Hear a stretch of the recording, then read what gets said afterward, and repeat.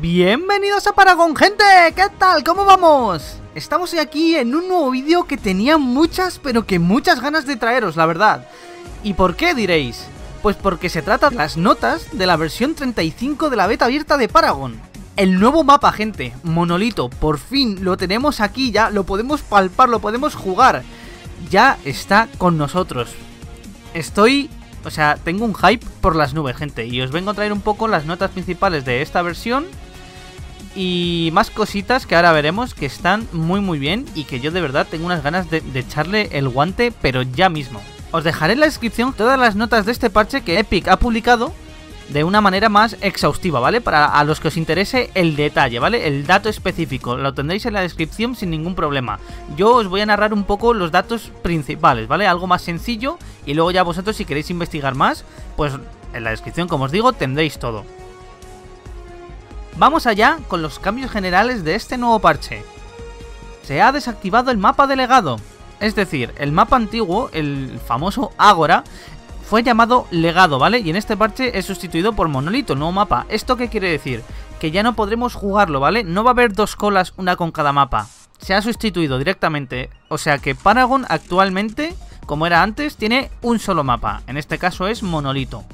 Las bajas de héroe ya no sueltan PC ámbar al suelo. Ahora directamente se le otorga al personaje que ha realizado una baja o una ayuda. Las mejoras ya no se sueltan, ahora vuelan directamente hasta el jugador que ha asestado el último golpe. Se ha añadido una penalización de movimiento por caminar hacia atrás, saltar, desplazarse lateralmente o disparar. Se ha reducido el alcance de las torres de 2000 a 1600 unidades. Ahora los puntos de carta se consiguen en incrementos de 1 en lugar de 3, Reequilibrio de la economía, ¿vale? Un reequilibrio total de la economía del juego, tanto de ámbar como de experiencia. Se ha reequilibrado la salud, la armadura y el daño de todas las estructuras del juego.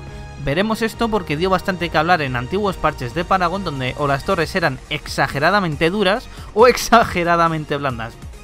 Los secuaces de línea que no sean de asedio pueden apartarse de las torres al atacarlos, y los secuaces de asedio de las líneas se centrarán en las torres e ignorarán a los héroes, muy importante.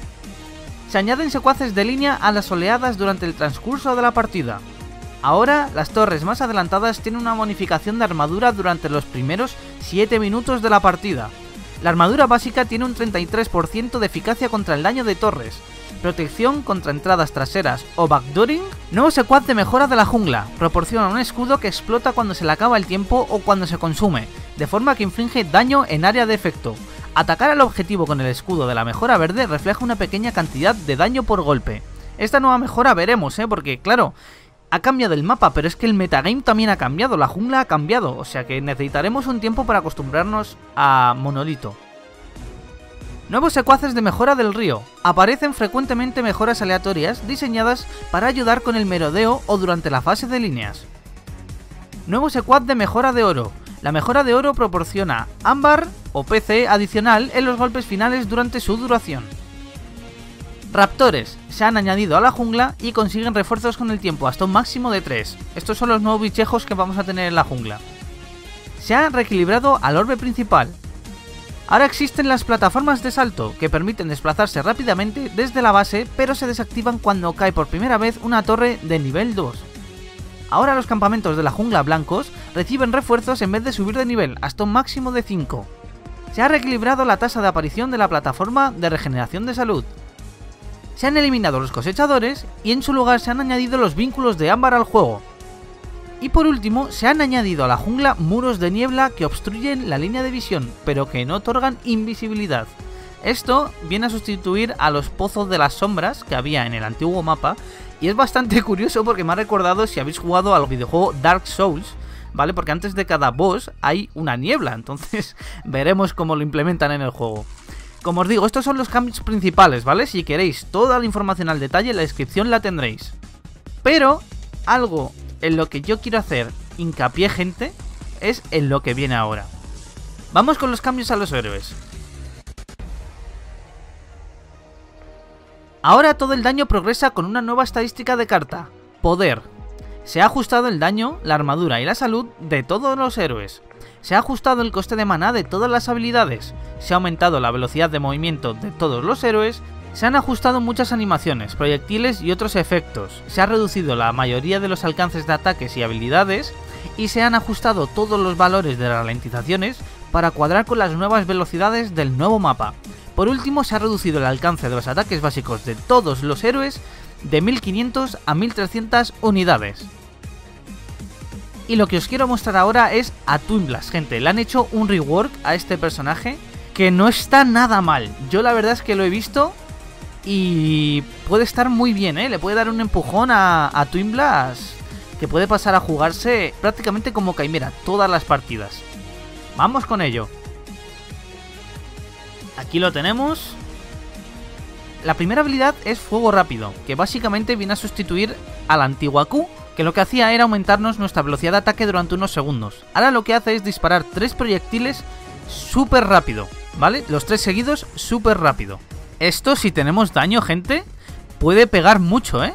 Tres proyectiles seguidos tan rápidos, porque es que como veis son muy rápidos, esto puede pegar mucho, ¿eh? Pero mucho.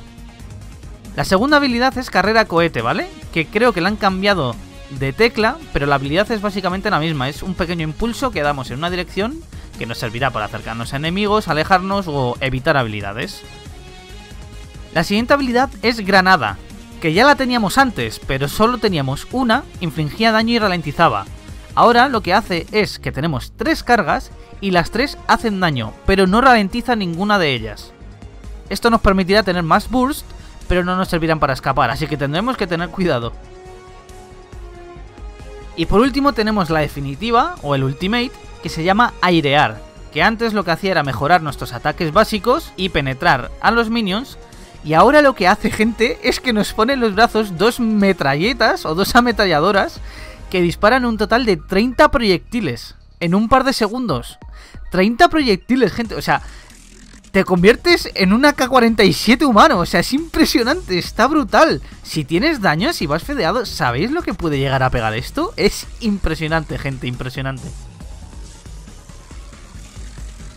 Y poco más, gente. Este es un breve resumen de las notas de la versión 35, un poco para que veáis las primeras imágenes del nuevo mapa Monolito y el nuevo rework de habilidades de Twin Blast para que os hagáis una idea de lo que se nos viene encima. Espero que os haya gustado, yo me voy ya mismo a probarlo porque estoy hiper emocionado.